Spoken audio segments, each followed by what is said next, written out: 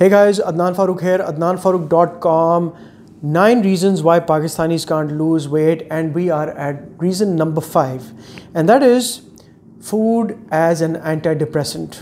यानी कि हम जंक फ़ूड को इस्तेमाल कर रहे हैं टू नम द पेन जो लोगों के कॉमेंट्स लोगों की जजमेंट्स लोगों की एक्सपेक्टेशंस ये जो पेन स्ट्राइक कर रही है हमारे दिल दिमाग में, उस पेन को नम करने के लिए हम जंक फ़ूड की तरफ़ जा रहे हैं हम शुगरी फूड्स की तरफ़ जा रहे हैं हम सेवरी फूड्स की तरफ़ जा रहे हैं हम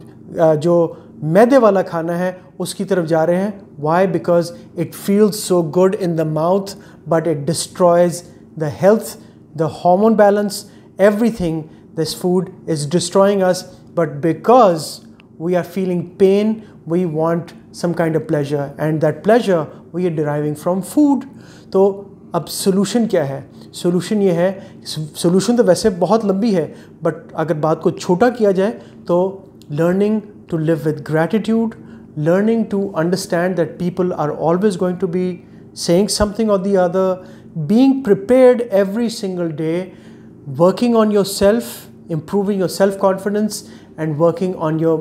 heart and your mind and your physicality, यानी कि सारा फोकस अपने ऊपर डायरेक्ट करने की ज़रूरत है। जब आप लोगों से ये चीज़ें एक्सपेक्ट करेंगे कि why are people judging me why are people commenting on me why are people doing this why are people doing that you will never be happy and you will always go back to food as an anti depressant so